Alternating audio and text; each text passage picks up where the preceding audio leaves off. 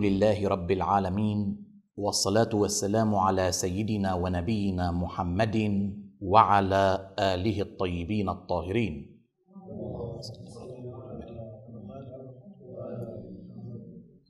إخوتي أخواتي السلام عليكم جميعا ورحمة الله وبركاته.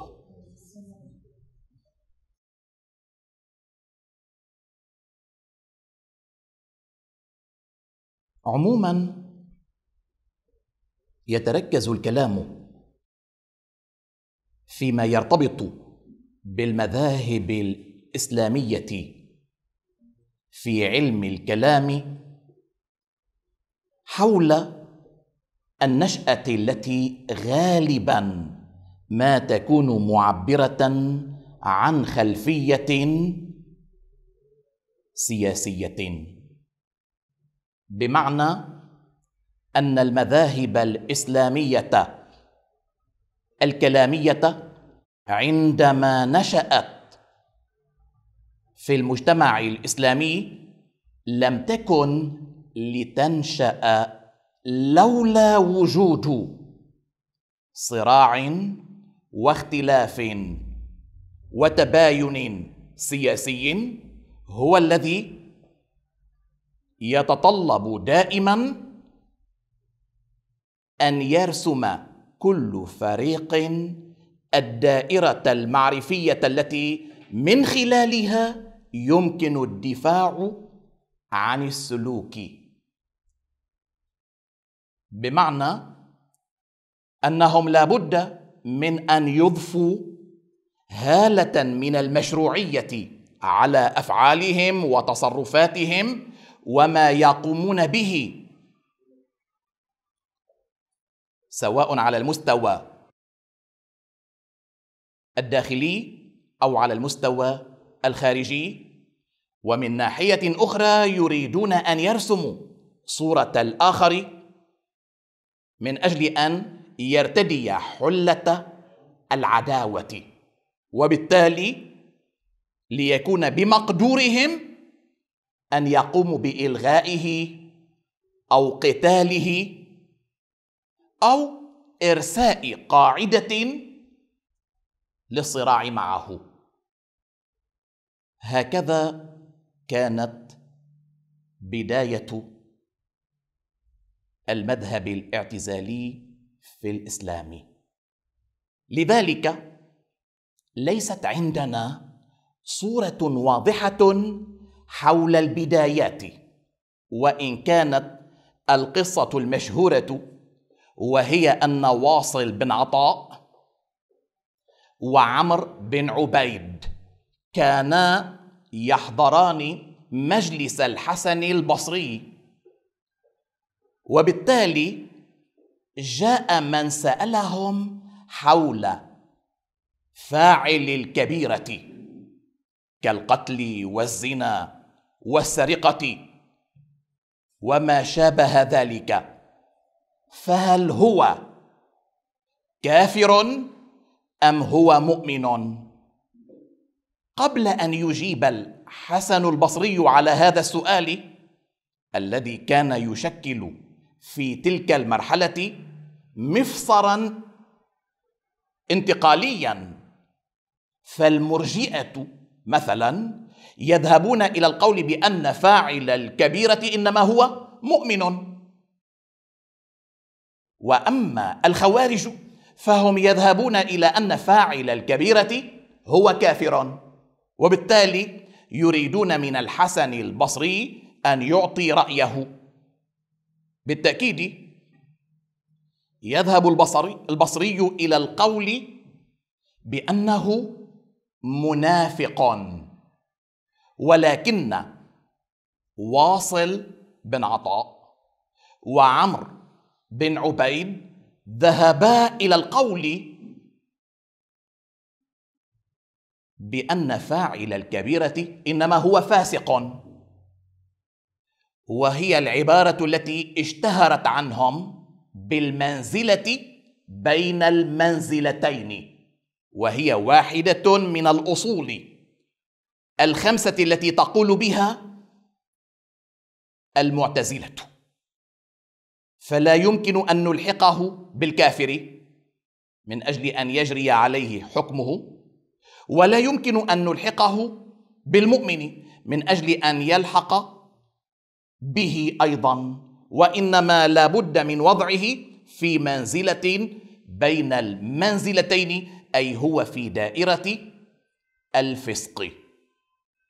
ولكن هذه القصة أستبعد. أن تكون الأساس الذي انطلقت منه الحركة الاعتزالية. وذلك لأن العلاقة استمرت إيجابية بين واصل بن عطاء وبين الحسن البصري. وفي الحوارات التي كانت بين واصل بن عطاء وبين عمر بن عبيد وهما المؤسسان لحركة الاعتزال يظهر من خلال هذا الحوار أو هذا النقاش أو تلك الرسائل أن ابن عطاء يذهب إلى ضرورة أن يتم التمسك بالمنهج الذي سار عليه الحسن البصري.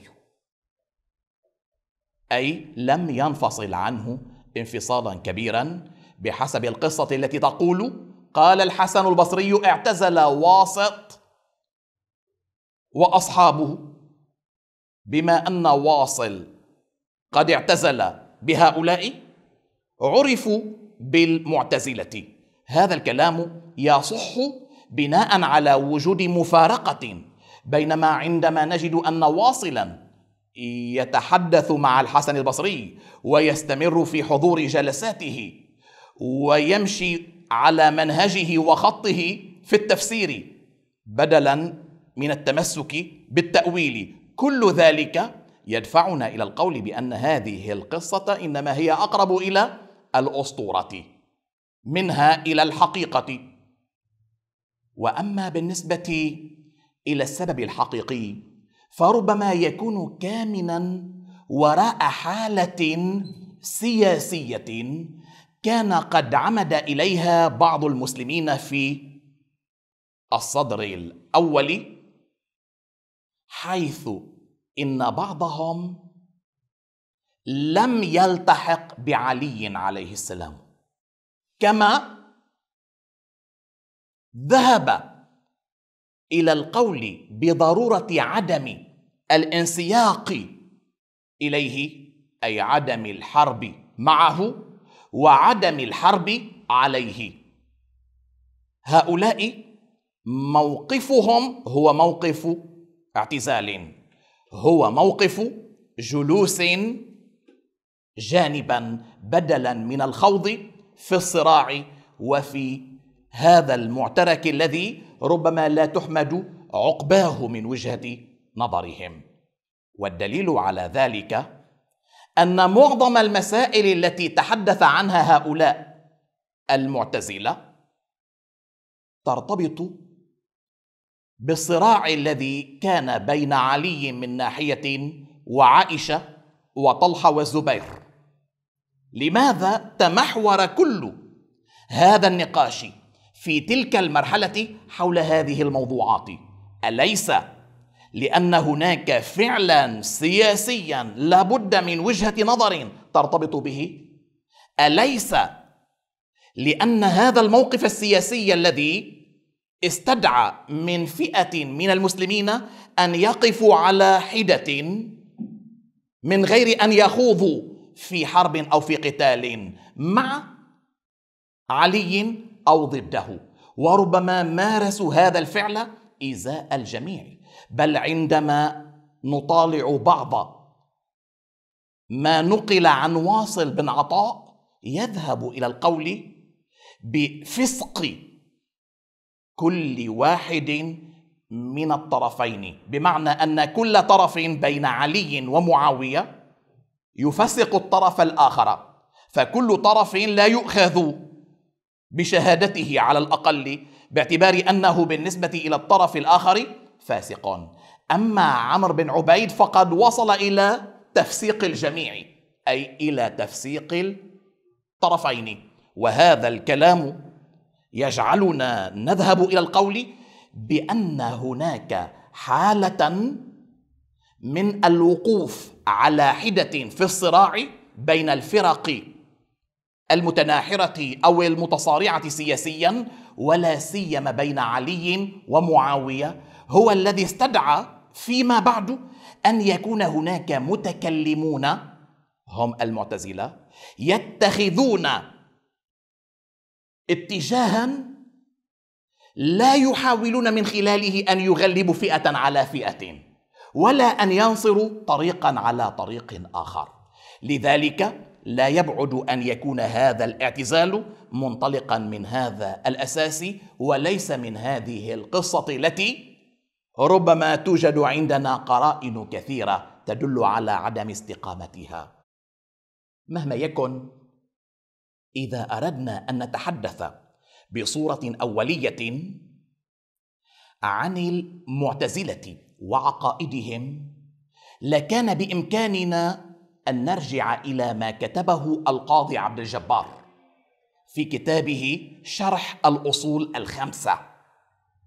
فهذا الكتاب يحاول أن يبين لنا أن الأصول عند المعتزلة بالرغم من اختلاف أفرادهم هي خمسة. أي عندما يختلف فرد مع فرد آخر منهم حول واحد من هذه الأصول الخمسة عندئذ لا يعد من المعتزلة. وهذه الأصول الخمسة هي التوحيد والعدل والوعد والوعيد والمنزلة بين المنزلتين والأمر بالمعروف والنهي عن المنكر. طبعا القاضي عبد الجبار نفسه عنده كتاب اسمه المغني في أصول الدين. يذكر أن أصول الاعتزال تتركز في اثنتين التوحيد والعدل.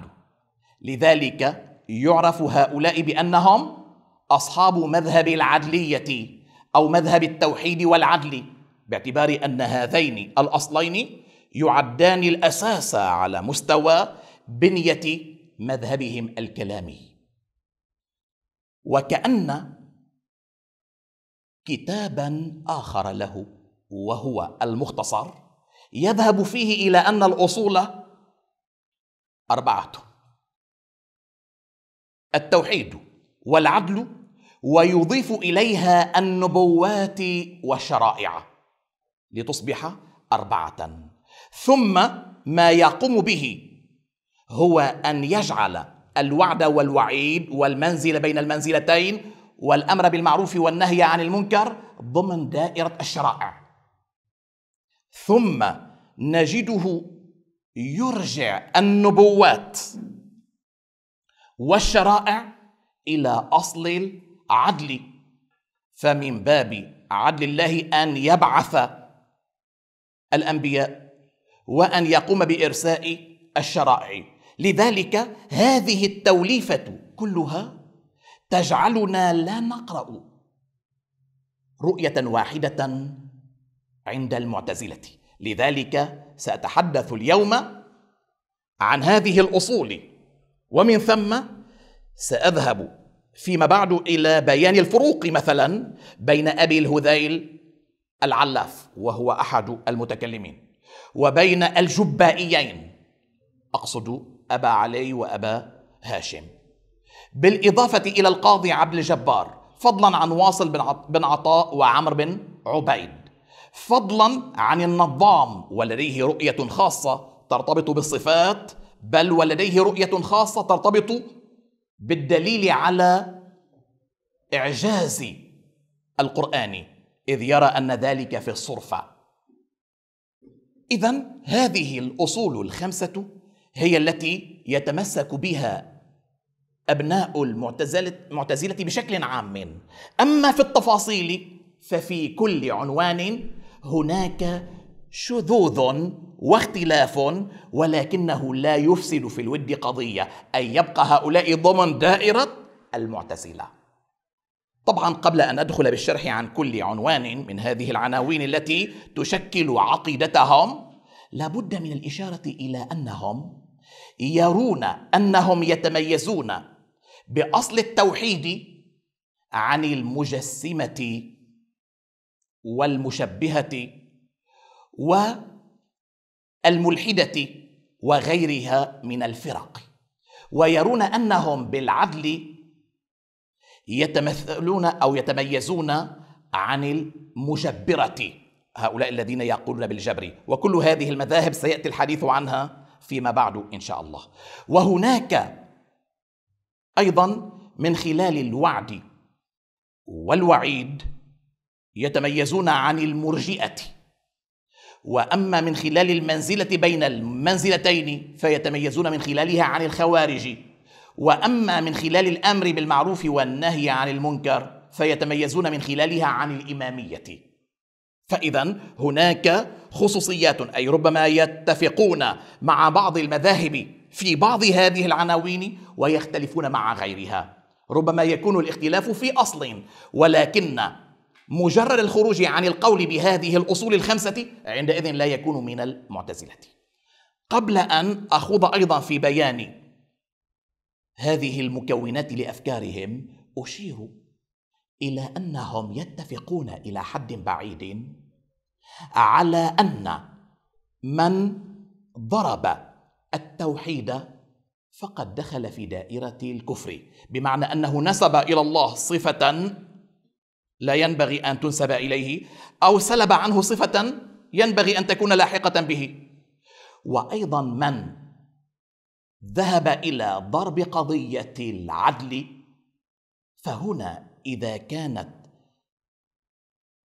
مبنية على القول بعدم فعله للحسن عندئذ أيضا يقال بتكفيره. وأما إذا قيل بأن ذلك ليس إلا من قبيل أنه يمكن أن يعاقب أو أن يثيب. أما العقاب فربما يتهاون فيه باعتبار أن ذلك هو من كرمه. أيضا يكفرون من يذهب من يذهب إلى هذا التفكير. بالإضافة إلى أنهم يخطئون من يقول ربما يكون الله قد التزم بالوعد والوعيد إلا أنه توجد هناك استثناءات أو تقييدات لم يوضحها للبشر إذ ليس من عدالته ألا يقوم بهذا الفعل. وهكذا بالنسبة إلى بقية العناوين. فتارة يكفرون وتارة يفسقون وتارة ثالثة يخطئون. فمثلا في الأمر بالمعروف والنهي عن المنكر يعدون أن من أنكر ذلك إنما هو كافر. وأما من جعل ذلك معلقا بحضور الإمام فهذا مخطئ. وكأن من ذهب إلى الرأي الثاني لا يدخل ضمن دائرة التكفير. أما المنزلة بين المنزلتين فمن قال إن فاعل الكبيره هو كافر فقد كفر. وأما من قال إن فاعل الكبيرة إنما هو مؤمن فقد أخطأ. وبالتالي لا بد من القول هو فاسق. اذا هذا هو موقفهم ومن الجيد أن نعرف دائما كيف ينظر صاحب المذهب إلى الآخر. كيف يقرأه كيف يشكل لديه تصورا تبتني عليه أفكاره ويبتني عليه سلوكه. أما بالنسبة إلى الأصل الأول وهو التوحيد.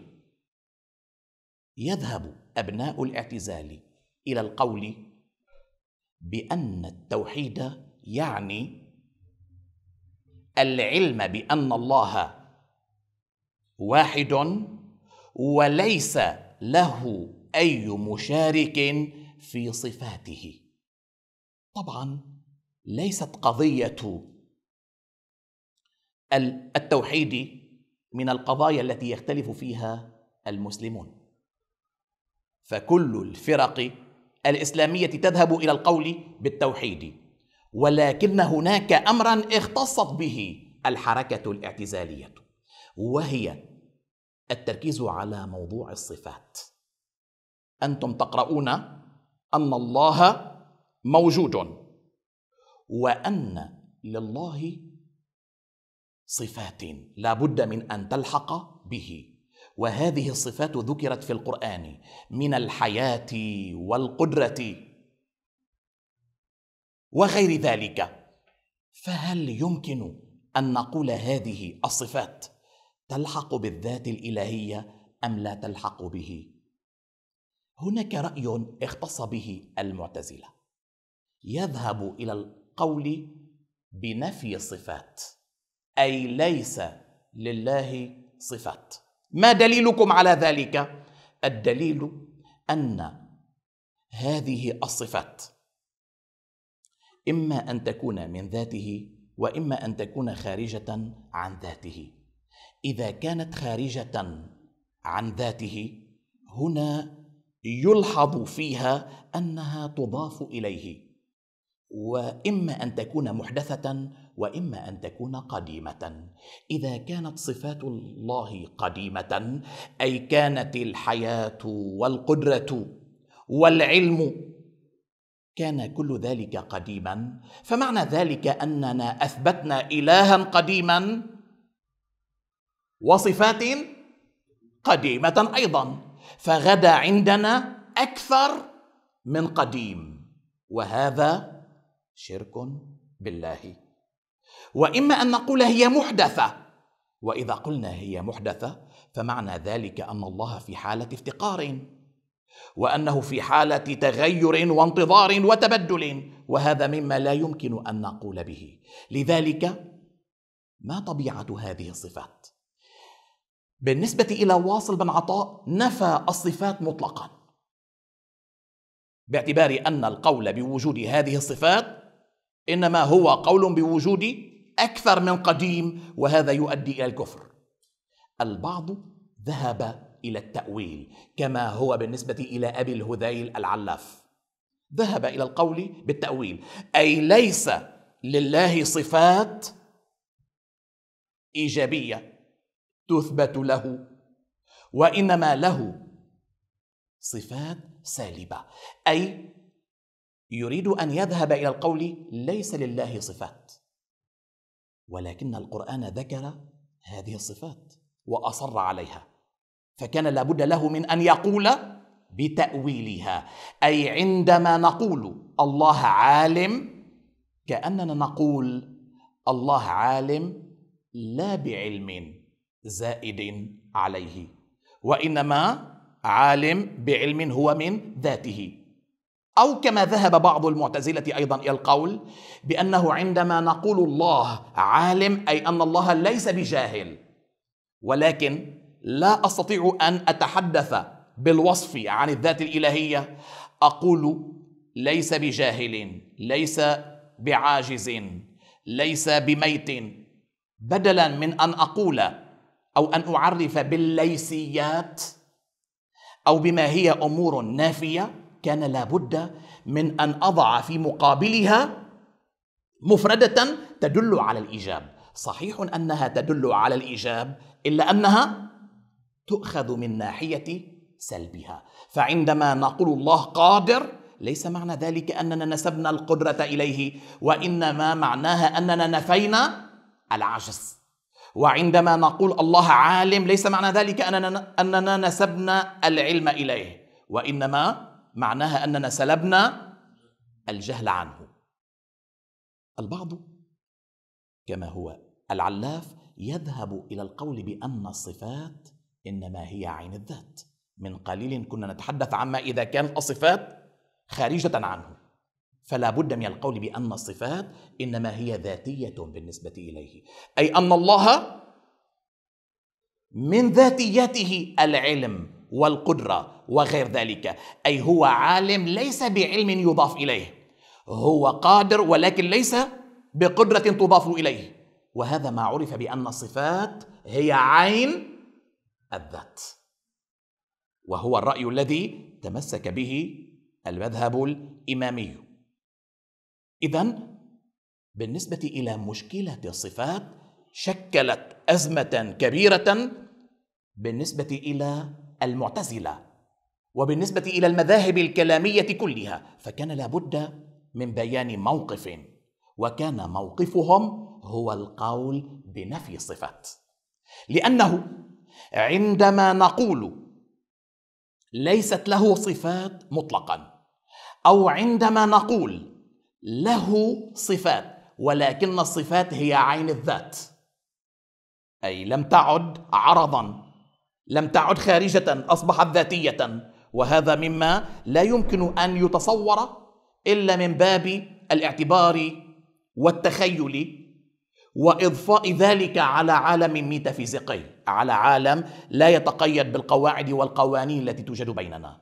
وهناك من ذهب إلى تسميتها بالأحوال أي حاول أن يبدل المصطلح من أجل ألا تصبح هذه الصفات زائدة أو مضافة إليه. طبعا كل ذلك في مقابل من ذهب إلى التشبيه.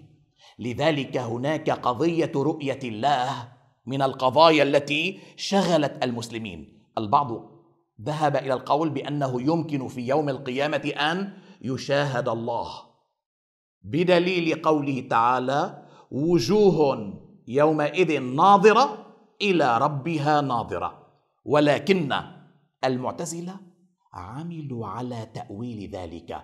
قالوا بأن الله بما أنه ليس بجسم وليس له حجم من طول وعرض وعمق لذلك لا يمكن أن يشاهد أو أن يرى.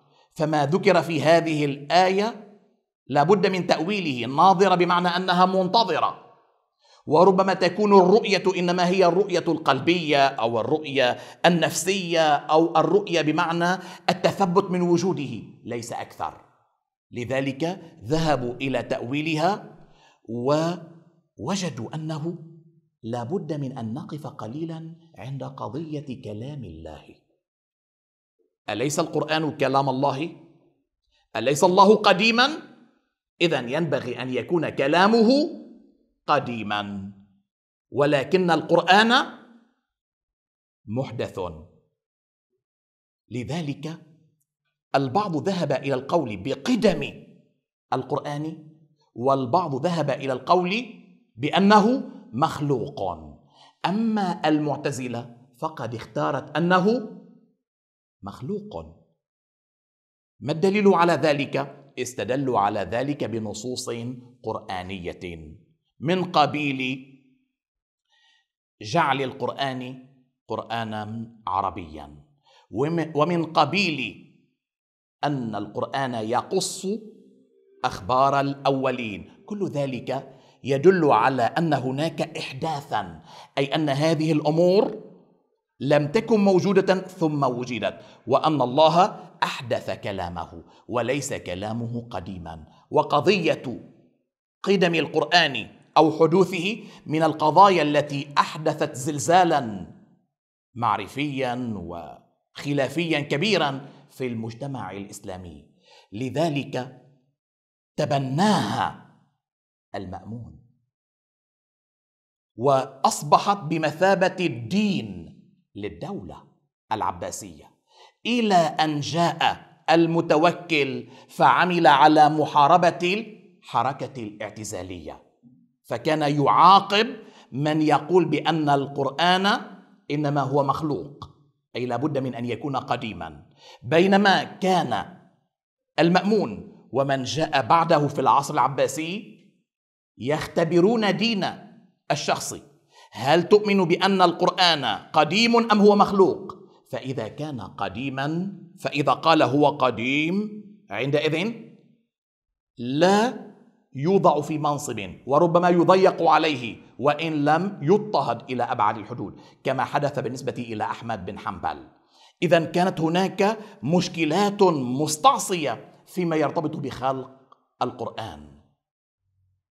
بالفعل هؤلاء ذهبوا إلى أن الله كلامه ينبغي أن يكون قديما بينما القرآن يتحدث عن أمور جرت مع الزمان فلا بد من أن يكون حادثا.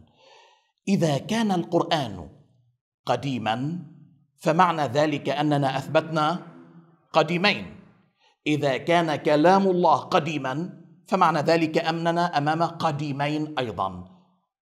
فالحل هو نفي هذه الصفات والقول بأنه كلام جاء متاخرا.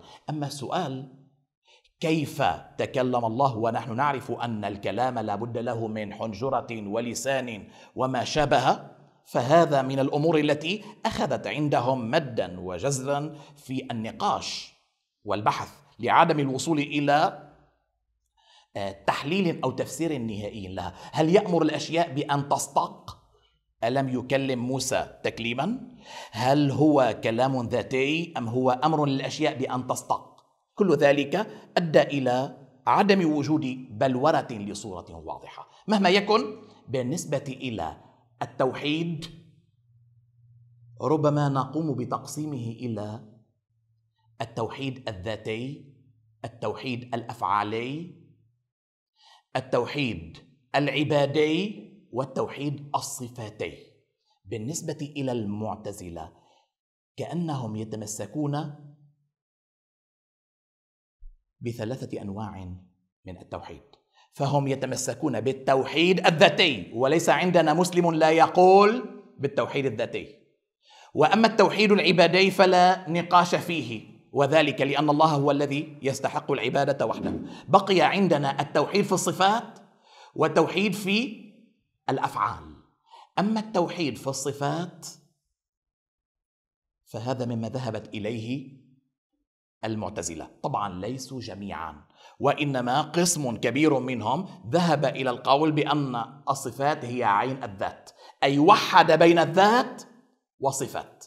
وأما الأشاعرة وهم الأعداء اللدودون للمعتزلة فهؤلاء يذهبون إلى القول بالتوحيد الأفعالي كما سنناقش ذلك فيما بعد. أي هي نظرية الكسب أي أن الفعل ينسب إلى الإنسان مجازا وإلى الله حقيقة. وهذا ما سوف نناقشه بعد قليل في موضوع العدل عند المعتزلة. مهما يكن بالنسبة إلى التوحيد كأن المقصود منه هو التوحيد الذاتي والتوحيد العبادي وهذان أمران يشترك فيهما المعتزله مع جميع المسلمين.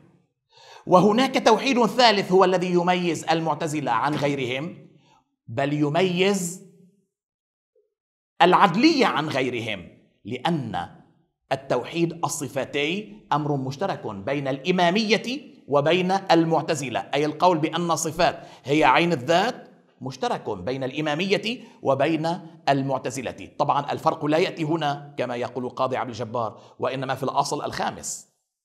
اذا بالنسبة إلى فكرة التوحيد الأفعالي يرفضها المعتزلة رفضا باتا وقاطعا. لا يمكن القول بها لأسباب سيأتي نقاشها. وعليه التوحيد عند المعتزلة يقتضي القول بأن الذات الإلهية هي واحدة وليس لها شريك لا في الصفات الإيجابية ولا في الصفات السلبية. ولا بد من العلم بذلك والإقرار به. بقي أن نتحدث عن الصفات وهم ينكرون الصفات. فإما يؤولونها وإما ينفونها بصورة مطلقة أو يحملونها على النفي أو السلب أو ما شابه. ولكنهم لا يقولون بأن هناك صفات يمكن أن تحمل على الذات الإلهية. لأن هذا الأمر سيستدعي أن تكون عندنا تعددية في القديم أي سيكون عندنا أكثر من إله.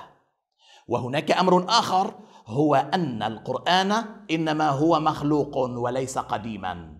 لأنه لو كان قديما لاستوى مع الله. هو كلام الله ولكن الله لا يعجز من أن يصنع كلاما وأن يقدمه للبشر بصورة متأخرة عن وجوده. ليس من الضرورة أن يشترك ذلك معه في الزمان ولا أن يشترك معه في الوجود. البعض منهم ذهب إلى القول أيضا بأنه لا يمكن أن نتحدث عن إله قديم لأن مصطلح القدم مما لا يمكن أن نتقبله لكونه يعطي الزمان للذات الإلهية. والله ليس له وعاء زمني بل الزمان مخلوق مع الأشياء التي أوجدها. وينفون في الوقت ذاته أن تكون هناك رؤية لله في يوم القيامة ويذهبون إلى تأويل كل النصوص التي أشارت في الكتاب والسنة إلى موضوع رؤية الله. فتبقى الرؤية قلبية أو يبقى ذلك مما يعد برهانا على وجوده ليس أكثر. أما بالنسبة إلى الأصل الثاني فهو العدل. والمقصود بالعدل في هذا السياق أن يفعل الله ما ينبغي أن يفعله من خير وأن يترك ما ينبغي أن يتركه من عدم هذا الخير. لذلك عندما نتحدث عن العدالة فمعنى ذلك أن هناك شؤونا ترتبط بها. يبرز العدل في مقابل الظلم. البعض يعترض على هذه المسألة كما هو شأن الأشاعرة بأنه لا يسأل عما يفعل وأنتم تسألون. فيمكن لله تبارك وتعالى على سبيل المثال أن يضع الكافر في الجنة وأن يضع المؤمن في النار. أما المعتزلة فيرفضون ذلك نهائياً ويقولون بأن العدل الإلهي إنما هو ملزم للذات الإلهية. فلا يمكن أن يفعل إلا ما يعد عدلا وذلك انطلاقا من مقاييس عقلية يقدمونها أو يعطونها في هذا المجال. قبل أن نخوض في المسألة نشير إلى أن الفعل الإنسانية هل هو في دائرة الحرية أم هو في دائرة الجبرية؟ أي هل أنت مجبر على أفعالك أم أنت لست سوى مخير طبعا كل ما أقدمه إنما هو وجهة نظر المعتزلة وجهة نظر الإمامية نتركه للمحاضرات الأخيرة كما نعرف. فاذا بالنسبة إلى المعتزلة يذهبون إلى القول بأن الإنسان لديه أفعال اختيارية ولديه أفعال تكوينية. أما الأفعال التكوينية فلا يد له فيها كضربات قلب الإنسان واغتذاء جسمه وما شابه. أما بالنسبة إلى أفعاله الاختيارية فهو حر فيها وحريته مطلقة. لماذا؟ لأنه لو كان الفاعل الحقيقي هو الله كما تذهب إلى ذلك المجبره أو كما يذهب إلى ذلك الاشاعره بلون من التلطيف لأن الجويني والغزالي وسواهما يقولون بنظرية الكسب أي أن الإنسان يكتسب الفعل اكتسابا ولا يصنعه بعبارة أبسط عندما أقوم بفعل هذا الفعل الذي أقوم به ليس بقدرتي. وإنما هو بقدرة الله. فالله هو الذي أقدرني على أن أقوم بهذا الفعل. ينسب الفعل إلي مجازا ولكنه ينسب إلى الله حقيقة. فهل الفاعل الحقيقي هو أنا أم الله؟ في البداية ظن كثيرون ومن خلال نصوص قرآنية أن الفاعل الحقيقي إنما هو الإنسان. وهناك آخرون أيضا ظنوا أن الفاعل الحقيقي هو الله. ضاعت القضية حتى أن قوله تعالى لا تهدي من أحببت إن الله يهدي من يشاء. هنا يحتمل أن تكون هذه الإشاءة راجعة إلى العبد كما يحتمل أن تكون راجعة إلى الذات الإلهية. فكان لابد من النقاش في حقيقتها. فهل أنا من أقوم بهذا الفعل حقيقة وينسب إلي حقيقة أم أنا من أقوم بهذا الفعل مجازا؟ وأما الفاعل الحقيقي هو الله. طبعا الأشاعرة أخذوا الفكرة اجمالا من بعض الاتجاهات الفلسفية اليونانية على غرار المعتزلة الذين تأثروا تاثرا كبيرا بهذا الاتجاه العقلاني الذي وجد عند اليونانيين واقتبسوه وأخذوه بعد حركة الترجمة والنقل الواسعة على مستوى الجزيرة العربية. مهما يكن يبدو أنهم عندما تحدثوا عن فعل يقوم به الإنسان ينسب إليه مجازا وإلى الله حقيقة اخرجوا مبدأ الحساب والعقاب وذهبوا إلى القول بأنه ما دام الفاعل الحقيقي هو الله فكيف يمكن اذا أن يثيب أو أن يعاقب؟ كانت الإجابة من قبلهم ذات بعد فلسفي تأويلي إذ إن هذا الإنسان بمجرد أنه يهم بالفعل أو ينويه أو يتصوره عندئذ سواء وقع منه هذا الفعل في الخارج أو لم يقع يسجل عليه فعلا. وأما في الخارج فذلك رهن إرادة الله فإن شاء أن يجعل ذلك متحققا في الخارج جعله. وإن شاء الا يجعله كذلك فهو لا يجعله. أي لو أنني أردت أن أؤذي شخصا. أو أن أكرم شخصا بمجرد أنني أردت ذلك سجل على فعلي أنه حسن أو قبيح. أما بالنسبة إلى فعلي الحقيقي ربما يبرز في الخارج وربما لا يبرز في الخارج. فإذا برز أو لم يبرز المسؤولية هي على الذات الإلهية. لذلك يقولون إن الفاعل الحقيقي للأشياء هو الله. بينما الفاعل المجازي هو أنا. والفرق بينهما أنه عندما أردت ليس من الضروره أن يكون الواقع الخارجي طبق إرادتي. أما عندما تحقق هذا الأمر في الخارج فبمجرد أن الله أراده أن يكون متحققا في الخارج فقد تحقق.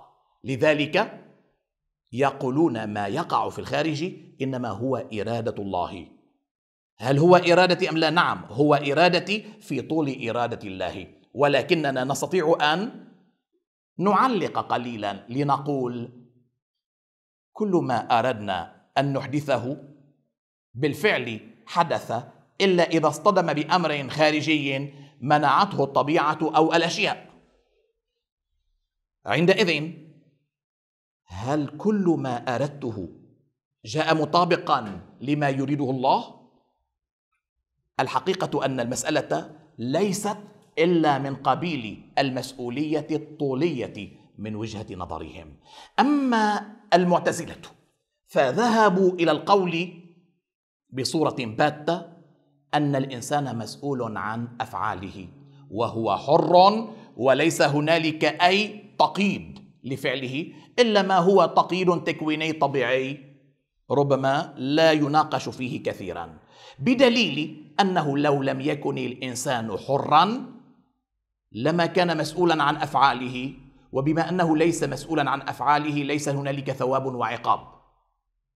لا بد أيضا من أن يكون الإنسان حرا لأنه لو لم يكن الإنسان حرا لما كانت هناك إمكانية لأن لأن يعصي أو أن يطيع. وبالتالي لماذا جاءت النبوات؟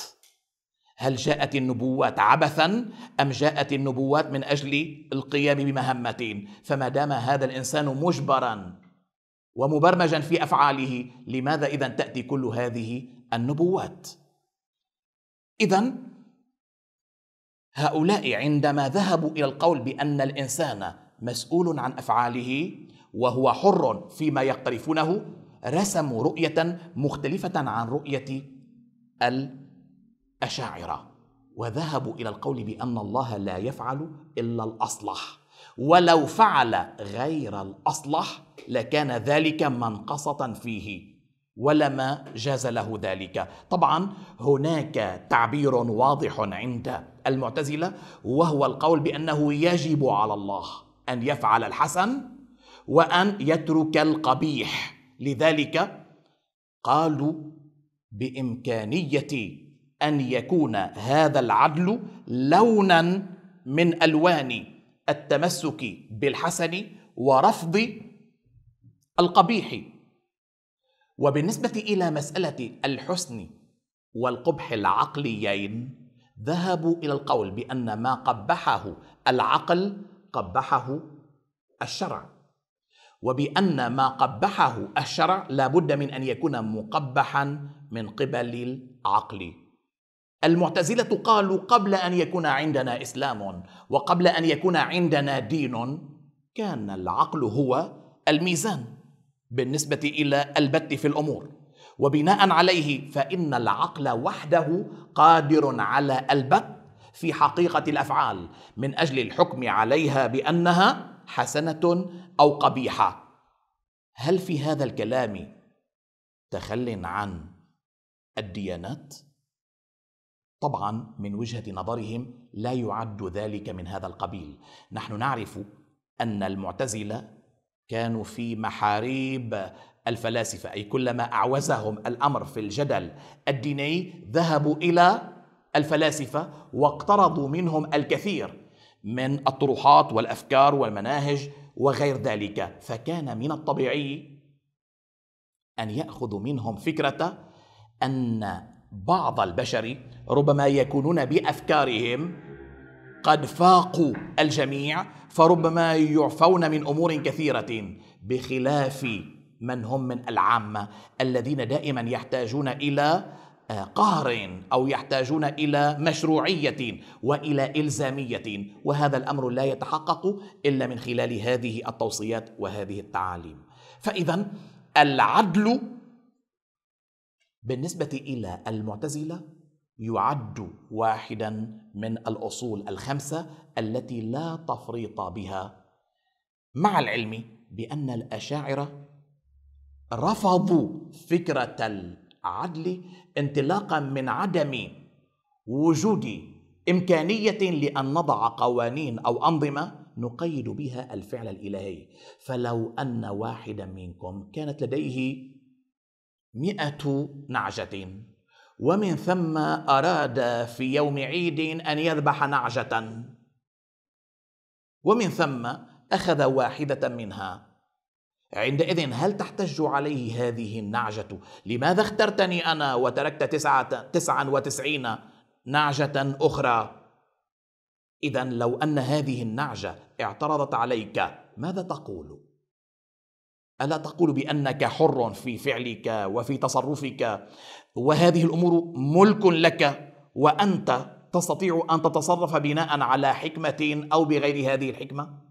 بالنسبة إلى الأشاعرة يمشون على الطريق نفسها. كأنهم يقولون إن الله لا يسأل عما يفعل وأنتم تسألون وبالتالي يستطيع الله أن يضع المؤمن في النار وأن يضع الكافر في الجنة. فالأمر موكول إليه ذاتا. طبعا بالنسبة إلى الأصل الثالث وهو الوعد والوعيد كأن المقصود فيه عندهم أن الله عندما يعد بأمر فيه آه، مضرة أو فيه خير أو ربما يدفع ضرر أو يسلب خير. عندئذ لا بد من أن يلتزم به. وعندما لا يلتزم به فمعنى ذلك أنه أخل بعدالته أخل بقيمة الحسن التي يجب عليه أن يتمسك بها. فما دام قد ألزم نفسه بذلك لا بد من أن يفعله. نعم. بالنسبة إلى الإمامية عندما يذهبون إلى القول بأنه من باب لطف الله أن يضع المؤمن في الجنة كما وعده. أما بالنسبة إلى الكافر وغير المؤمن مطلقا فالأمر موكول إليه. إن شاء أن يضعه في الجنة وضعه فمن باب كرمه. وإن شاء أن يضعه في النار وضعه فمن باب عدله. طبعا هذه الفكرة يرفضها المعتزلة. يذهبون إلى القول بأنه من ذهب إلى القول بأنه من باب كرم الله أن يضع الكافر جانبا أو أن يضعه في الجنة فالأمر موكول إليه. من ذهب إلى هذا القول فقد أخطأ وعد هذا الخطأ من الأخطاء التي ابتنت على مخالفة إجماع المسلمين. فما يكون عليه إجماع ربما من يخالفه يقع في الخطأ من وجهة نظرهم. أما ما تكون عليه سنة النبي ومقولة الأمة بشكل عام فهذا ما يدخل عندهم في دائرة التكفير. لذلك كأنهم يقولون يجب على الله بناء على ما وعد به أو أوعد به من وعد ووعيد. لابد من أن يضع الكافر في النار والمؤمن في الجنة. هناك من يقول بأنه لا يجب على الله ذلك. يدخل عندهم في دائرة الكفر. وهناك من يقول أما بالنسبة إلى المؤمن فمن باب عدله أن يضعه في الجنة. وأما الكافر فالأمر موكول إليه إن شاء جعله في الجنة وإن شاء جعله في النار. فمن يذهب إلى هذا القول فقد أخطأ من وجهة نظره. بقي عندنا المنزل بين المنزلتين بالإضافة إلى الأمر بالمعروف والنهي عن المنكر. أما المنزلة بين المنزلتين فالمقصود بها أن فاعل الكبيره لا يمكن أن نقول عنه هو كافر كما هو قول الخوارج. ومن قال بذلك فقد كفروه. وأما بالنسبة إلى من قال هو مؤمن لا يمكن القول بذلك كما هو موقف المرجئة الذين يقولون هذه الأمور تترك وترجع وتؤجل إلى يوم القيامة. وذلك لأن هؤلاء يخالفون أو يخطئون فيما يذهبون إليه من هذا القول. فلا بد من القول بالفسق. انطلاقا من كون الفسق الأمر المشترك من وجهة نظرهم بين كل أصحاب المذاهب. فمن قال عنه هو مؤمن اذا هو مؤمن فاسق. ومن قال عنه هو كافر فقال هو كافر فاسق. ومن ذهب إلى غير ذلك فقد جعله قرينا بالفسق فأخذوا الفسق ليكون المنزل بين المنزلتين. فأت وعرف ذلك بالأسماء والأحكام أي عندما نقول الأسماء والأحكام ونقول المنزل بين المنزلتين. ونتحدث نتحدث عن فاعل الكبيره وكون فاعل كبيره فاسقا. كل ذلك يصب في دائرة معنوية واحدة. وأما الأمر بالمعروف والنهي عن المنكر فذلك يعدونه من الأمور التي تجب ربما بالقلب أو باللسان وربما باليد. وقد اشتهر هؤلاء المعتزلة بأنهم كانوا سلبيين إلى حد كبير مع أعدائهم.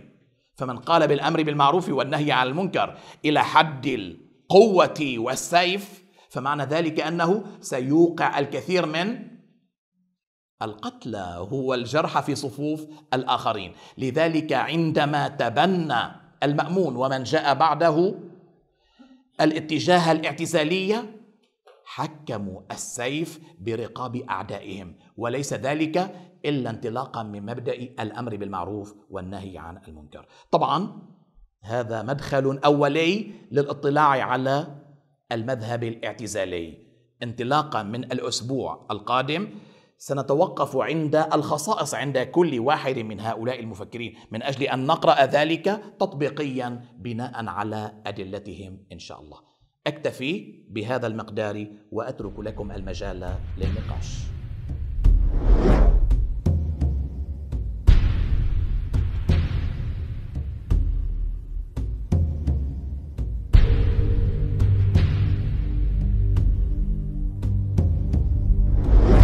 الأشاعرة هم الأبعد عن اعتماد العقل مستقلا وأما المعتزلة فهم الأقرب إلى جعل العقل بمثابة الميزان الذي يتم الاعتماد عليه والتعويل عليه في قراءة العقيدة والأمور. ولكن ليس معنى ذلك أن الأشاعرة ليست لديهم خلفية عقلية. فالأشاعرة مثل الباقلاني والجويني والغزالي كانت لديهم أيضا قدرات عقلية وفلسفية ومنطقية متميزة. ولكن من أعطى العقل القيمة والأهمية والجدوائية الكبيرة هم المعتزلة. وربما أعطوا العقل قيمة وأهمية أكثر من الإمامية أنفسهم. أعطوا العقل القيمة الأكبر. طبعا توسلوا بأفكار وطروحات فلسفية وعلمية وقراءات تأويلية واسعة. أخذ بعضها من اليونانيين من السريان. حتى أيضا أخذت بعض المطارحات والأفكار من التلاقح مع البيئة والوسط الداخلي. أي من خلال ما وصل إليهم مشافهة من خلال حوارهم مع أصحاب الديانات والمذاهب الأخرى. أي في الواقع علم الكلام أسس ونشأ في الإطار الإسلامي الهدف منه الدفاع عن العقيدة ليس أكثر.